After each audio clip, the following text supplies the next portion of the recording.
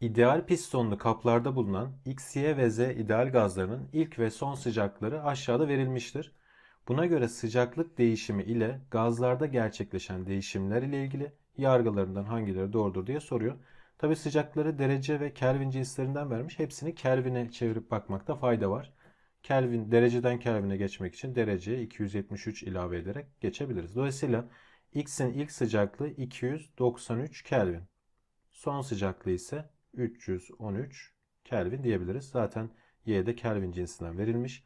Z'nin ilk sıcaklığı 273 Kelvin. Son sıcaklığı ise 273 artı 273'ten 546 Kelvin diyebiliriz. Şimdi bununla ilgili X, Y ve Z gazlarının basınçları değişmemiştir diyor. Şimdi sorunun en başında bize ideal pistonlu kaplarda bulunduğunu bize söylüyor ve ideal pistonlu kapların özelliği iç basınçla dış basıncın birbirine eşit olmasıdır. Dolayısıyla sıcaklık artışı basıncı değiştirmeyecektir. Sıcaklık artışı hacmi değiştirecektir. Yani şöyle bir durum olacak. Şöyle bir kabımız olsun elimizde.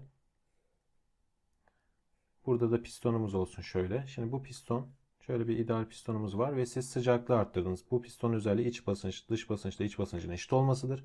Sizin sıcaklığı arttırmanız pistonun bir miktarda yukarıya doğru hareket etmesini sağlayacaktır. Dolayısıyla burada basınç değişmeyecektir. Birinci ifade doğrudur.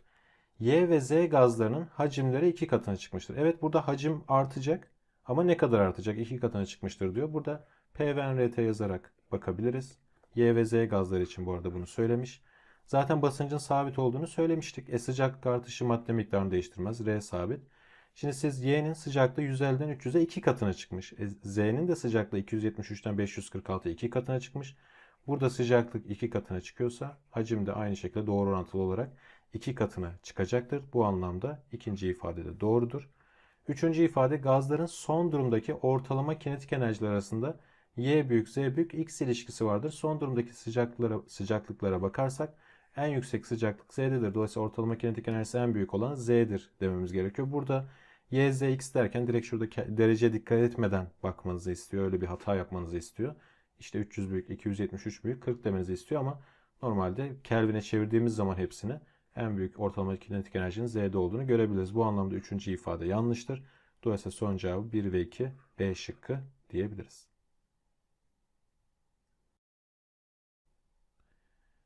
Şekildeki kaplarda bulunan ideal X ve Y gazlarının her ikisine de uygulanan işlemler ve gazlara etkileri ile ilgili aşağıdaki ifadelerden hangisi yanlıştır diyor. İşlem sıcaklığı arttırmak demiş. Sıcaklığı arttırmak tüm gazların ortalama kinetik enerjisini arttırır. X için de Y için de doğru. X için artar. Doğru dolayısıyla. Y'nin basıncı artar demiş. Y'nin bulunduğu kap sabit hacimli bir kap ve sabit hacimli bir kapta şöyle P ve NRT yazacak olursak burada sıcaklığı arttırdığınız zaman zaten madde miktarı değişmeyecek. R değişmeyecek. Sabit hacimli kap dolayısıyla basınç burada artacaktır. Dolayısıyla gaz basıncı artar ifadesi doğru. Zaten sıcaklık arttıkça basıncın arttığını ifadeden Gay-Lussac kanun üzerinden de düşünebilirsiniz. B şıkkı gaz eklemek. Yani madde miktarını arttırdığınız zaman burada yani mol sayısını arttırmış oluyorsunuz her ikisinde de. Mol sayısını arttırdığınız zaman şöyle yine P ve NRT olarak düşünebiliriz. N arttı. Bu sabit basınçlı bir sistem. R burada sabit. Sıcaklıkta sabitken hacim artacaktır. Dolayısıyla X'in hacmi artar ifadesi doğru. Y sabit hacimli bir sistem olduğu için hacim sabitken dolayısıyla burada da P artacaktır. Madde miktarı arttıkça basınç artar. Dolayısıyla B şıkkı da doğru. C şıkkı için sıcaklığı azaltmak demiş. Birim hacimdeki tanecik sayısı azalır. Şimdi siz burada birinci kapta sıcaklığı azalttığınız zaman yine bir P ve NT yazalım. Madde miktarı değişmeyecektir. R zaten sabit. Sabit basınçlı sistem. Sıcaklık azalırsa hacim azalır. Yani buradaki piston bir miktar aşağı gelecektir. Piston bir miktar aşağı gelecek ama madde miktarı aynı. Madde miktarı daha az hacimli bir kapta bulunacak. Yani birim hacimdeki tanecik sayısı aslında azalmayacak. Tam tersine artacak. Çünkü buradaki hacim azaldı. Aynı madde miktarı var. E birim hacimdeki tanecik sayısı artar. Ortalama kinetik enerji sıcaklık azalırsa ortalama kinetik enerji artmaz. Tam tersi azalır olması gerekiyor. Dolayısıyla buradaki iki ifade de yanlış. Dolayısıyla son cevabı C şıkkı diyebiliriz. Diğerlerinde hızlıca bakalım. Gaz eklemek mol sayısı artacağı için burada hacim artar. Dolayısıyla PV değeri artar. Doğru. Gaz eklemek burada yoğunluğu artar demiş. D eşittir M bölü V olarak düşünürseniz yoğunluğu. Kütle artacağı için gaz eklediğinizde hacim de sabit olduğu için otomatikman yoğunluk da artacaktır. Bulunduğu ortamın dış basıncını arttırırsanız burada ideal pistonlu bir sistem olduğu için dış basınç artarsa buradaki iç basınç da burada artacak. Dış basınçla iç basınç burada basınç artarsa iç basınçla hacim azalacak. Basınçla hacim ters orantılı olduğu için doğru. E burada sabit hacimli bir kapta dış basıncın artması bu kabın sabit hacimli olduğu için yani dış basıncın iç basınca bir etkisi yok burada. Dolayısıyla basınç burada değişmeyecektir. Bu anlamda E şıkkı da doğru.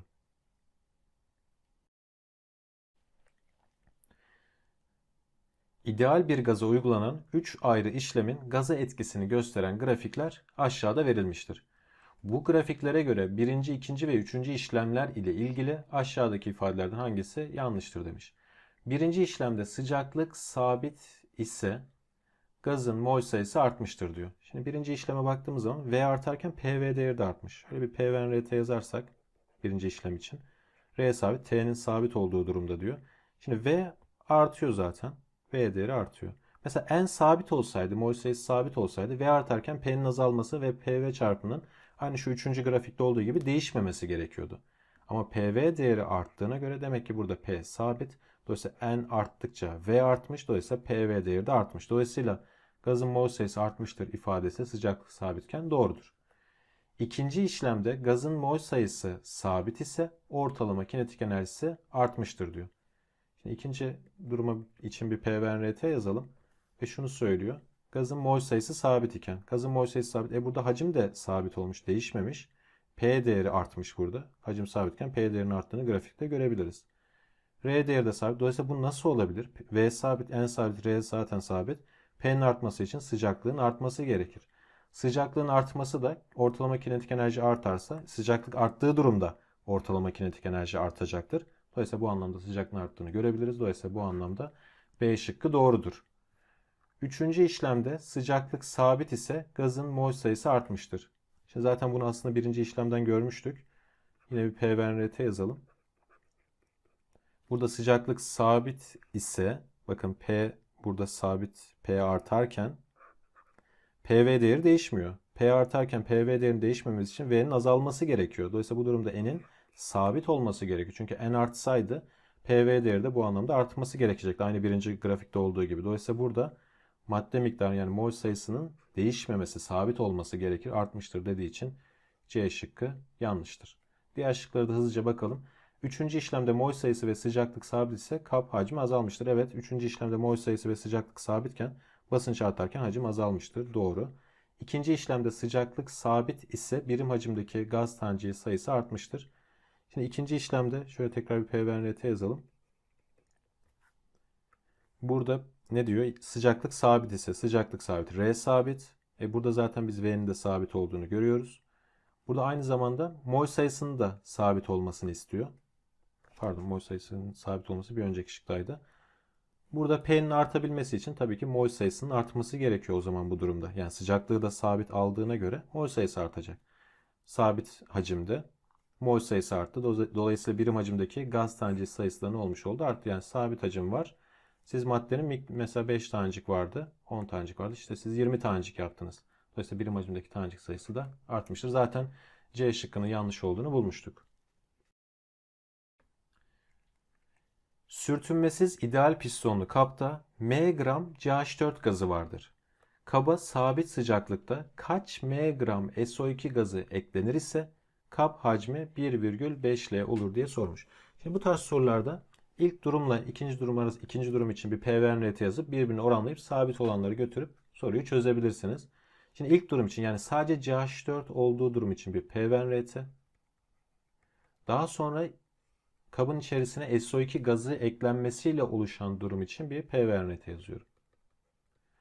Daha sonra sabit olanları götürüyorum. Şimdi bu ideal pistonlu bir sistem olduğu için ve ideal pistonda piston idealikten çıkartılmadığı sürece dış basınçla iç basınç eşit olacağı için SO2 ekleseniz de siz bu kaba yine basınç değişmeyecektir. Dolayısıyla basınçlar sabit, eşit. R'ler zaten daima sabit ve soruda da sabit sıcaklıkta bu tepkimenin, bu olayın gerçekleştiğini söylüyor. Dolayısıyla T1 ve T2 de birbirine eşittir. Zaten CH4 ile SO2 de tepkimeye girmeyen, birbiriyle tepkime vermeyecek olan gazlardır. Dolayısıyla V1 bölü V2 eşittir N1 bölü N2 eşitliğini bulmuş olduk. Şimdi buradan hareketle ilk durumdaki hacim 1 litre. Son durumdaki hacim yani SO2 eklendikten sonraki hacim de 1,5 litre. İlk durumdaki mol, ilk durumda sadece CH4 var. Molde N eşittir M bölü MA'dır. CH4'ün M'i zaten M olarak vermiş. CH4'ün eması da 16. Dolayısıyla ilk durumdaki mol M bölü 16'dır. Şöyle M bölü 16.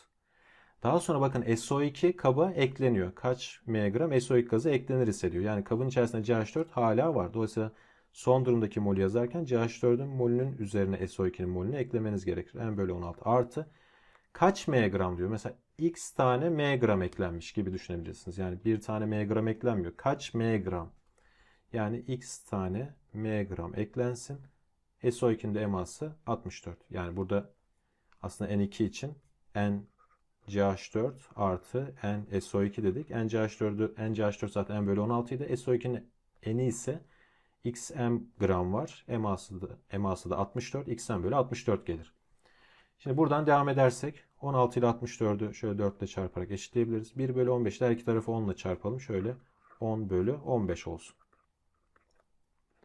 M bölü 16 bölü 4M artı XM bölü 64.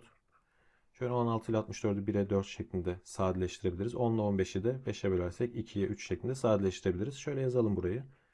2 bölü 3 bölü m bölü 1 bölü 4m yani şurayı m parantezine alabiliriz aslında. 4 artı x bölü 4. Bu m'ler de birbirini yine götürecektir. Dolayısıyla 2 bölü 3 eşittir. Ters çevirip çarparsak yukarıda zaten 1 kaldı. 4 bölü 4 artı x. Burada da içler dışlar çarpımı yaparsak 4 kere 3 12. 2 ile de 4 artı x'i çarparsak 2 kere 4 8 artı 2 ile x'in çarpımı 2x. 12'den 8 çıktı 4 eşittir 2x. 4'ü de 2'ye bölersek x'in buradan 2 olduğunu görebiliriz. Yani x burada 2. Dolayısıyla 2m gram SO2 eklenirse bu durumlar yaşanır. Şekilde eşit bölmelere ayrılmış sürtünmesiz ideal pistonlu kapta T Kelvin'de N mol neon gazı bulunmaktadır. Neon gazına ayrı ayrı uygulanan işlemler sonucu oluşan kap hacmi ve gaz basıncı ile ilgili işte hangileri doğrudur demiş. Şimdi birinci işlemde sıcaklık 2T Kelvin yapılıyor. Yani sıcaklık T idi 2T'ye çıkartılıyor.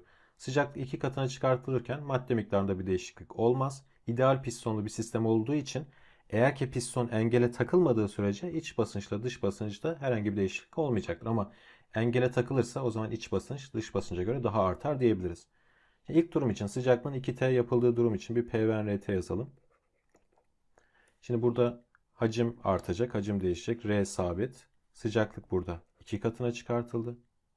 N burada madde miktarı değişmedi. İdeal piston olduğu için P sabit. Dolayısıyla hacim de burada 2 katına çıkacaktır. Yani şöyle de bakabilirsiniz. V1 bölü V2 eşittir T1 bölü T2. İlk durumdaki hacim 2 litreydi. Bölü V2 eşittir. İlk durumdaki sıcaklık T idi. 2T oldu. T 2T.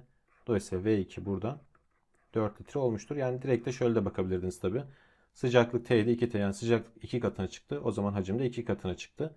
Dolayısıyla hacim 2 L idi. Tabi piston bölmeler eşit aralıklı. Yani şurası 2 litre ise burası da 2 litre.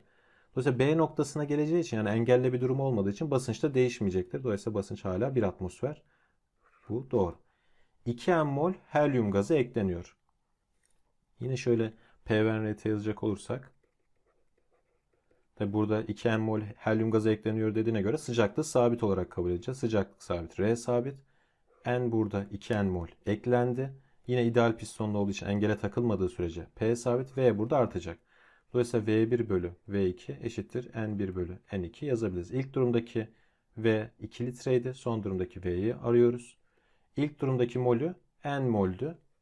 Bakın N moldü 2N mole çıkartılmadı. 2N mol helyum eklendi. N vardı 2N daha eklendi. Oldu size 3N mol neon gazı. Yani neon gazı değil. N mol neon vardı. 2 molde helyum eklendi. Başka bir soy gaz eklendi ama toplam gaz mol sayısı 3N'e çıktı.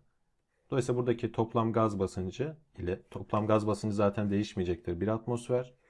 3 çarpı 2'den hacimde V2'de 6 litre olacaktır. 2, 4, 6. C noktasında geldiği için herhangi bir engele takılma durumu yok. Dolayısıyla ikinci ifade de doğrudur. Üçüncü durumda ise 2N mol helyum gazı ekleniyor. Aynı zamanda sıcaklıkta 2T Kelvin yapılıyor.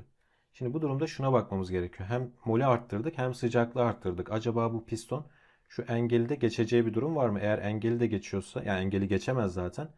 Engele takılıyorsa artık basınç da içeride birin üzerine çıkabilir. Şimdi bunun için iki tane durum yazalım. İki durum içinde P ve NRT yazıp oranlayalım. İlk durumda daha hiçbir şey eklenmeden bir P ve NRT. Bir de diğer değişkenlerden sonraki P ve NRT. Şimdi R'ler zaten burada sabittir. R'ler götürdü. Şimdi diğer ilk durumdaki basınç zaten iç basınçla dış basınç eşitti 1 atmosfer. İlk durumdaki hacim 2 litre eşittir. İlk durumdaki maddenin mol sayısı N, ilk durumdaki sıcaklık T. İkinci durumdaki P2'yi henüz bilmiyoruz. Yani engele takılıp takılmayacağını bilmiyoruz. İkinci durumdaki hacmi henüz bilmiyoruz. Mesela şuralarda falan bir yerde duruyorsa hacim 8 olacak ama engeli, engele takılmışsa hacim direkt 10 litre olmuş olacak zaten. İkinci durumdaki N ise 2N mol helyum gazı eklendi. N zaten vardı. Dolayısıyla 3N mollük madde oldu. Sıcaklığı T'ydi. 2T oldu.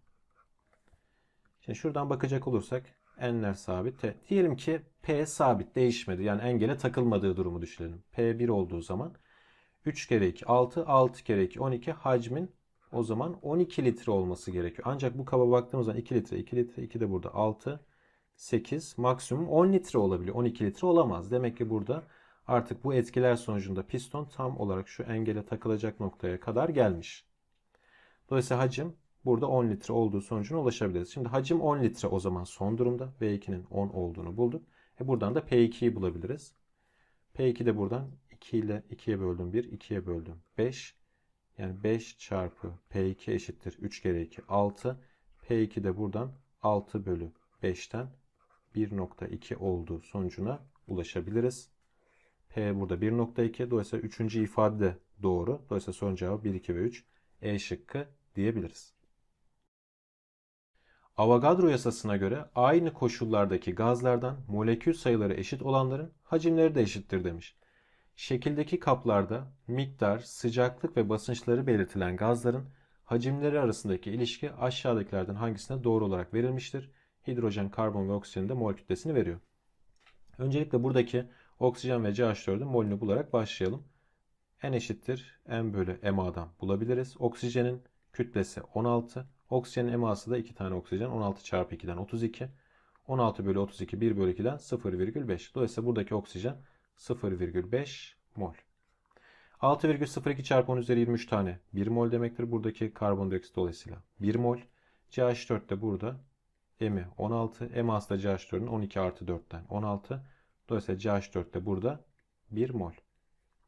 Şimdi bir PVNRT yazacak olursak PVNRT bunların üçünün de sıcaklıkları birbirine eşit. Sıcaklıklar eşit. R'ler zaten daima eşit. Dolayısıyla N eşittir PV olarak düşünerek V'lerini yorumlayabiliriz. Şimdi oksijen için şöyle O2 için N'i zaten ya da şöyle direkt V'yi aradığımız için V eşittir N bölü P olarak düşünelim. P'yi de bölüm olarak atalım. V'si o zaman buradan molünü 0,5 olarak bulmuştuk. 0,5. P'si de 1 atmosfer. 0,5 bölü 1'den 0,5. CO2 için, karbondioksit için burada molünü 1 mol olarak bulmuştuk. 1 bölü basıncı da ideal pistonlu olduğu için dış basınçla iç basınç eşittir. Dolayısıyla bu da 1. Dolayısıyla buradan 1 gelecek. CH4 için de hacmi molü yine 1 mol olarak bulmuştuk. Basıncı da 2 atmosfer olarak vermiş. 1 bölü 2'den 0,5'tir. Dolayısıyla hacimler arasındaki ilişki karbondioksit en büyük yani V2 büyük V1 ile V3 de eşit. V2 büyük V1 eşit V3 ilişkisi de D şıkkındaki gibidir. Dolayısıyla son cevabına D şıkkı diyebiliriz. Sabit hacimli bir kapta bulunan X, Y ve Z ideal gazları ile ilgili kütleler arasındaki ilişki mx eşittir 2my 4mz eşitliği şeklindedir. Kısmi basınçlar arasındaki ilişki de px eşittir 2py o da 2pz eşit. Buna göre X, Y, Z gazlarının mol kütleleri yani MA arasındaki ilişki hangi seçenekte doğru verilmiştir diyor. İsterseniz şöyle yapalım. Kütleler arasındaki ilişkiyi vermiş. Diyelim ki Z'nin kütlesi A olsun. O zaman 4A. O zaman Y'nin kütlesi 2A olur. X'in kütlesi de 4A olur. Kütleler arasında kütlelerini böyle bulabiliriz. Basınçları için de Z'nin basıncı diyelim ki P olsun. O zaman Y'nin basıncı da P'dir. X'in basıncı da 2P'dir. Şimdi sabit hacimli bir kap olduğunu söylemiş. Buna göre X, Y, Z gazların mol. Yani biz molleri arasındaki ilişkiyi bulursak, N'ler arasındaki ilişkiyi zaten kütlelerini de bildiğimiz için emalar arasındaki ilişkiyi bulabiliriz. Şimdi bir P ve RT yazdığımız zaman bunların sabit hacimli V'ler eşit. Sıcaklık da burada sıcaklığında sabit olarak alalım. Sıcaklık sabit. R zaten sabit. Basınçla mol doğru orantılıdır. Dolayısıyla basınçlar arasındaki ilişki 2P, P, P ise molleri arasındaki ilişki de şöyledir. Mesela P'nin mol, X'in molüne 2N dersem Y'nin molü N'dir. Z'nin molü de N'dir. E neden? Yani sabit hacimli olduğunu söylüyor. E R sabit. E sıcaklıkla ilgili bir şey söylememiş. Sıcaklık da sabit. Dolayısıyla mol ile basınç burada doğru orantılıdır. E basınçlar arasındaki ilişkiyle moller arasındaki ilişki aynı olması gerekiyor. Şimdi dolayısıyla burada moller arasındaki ilişkiyi bulduk. E kütlelerini biliyoruz. N eşittir M bölü MA'dan mol kütlelerini direkt hatta böyle A ve N'e bağlı olarak bulabilir. Öyle karşılaştırabiliriz.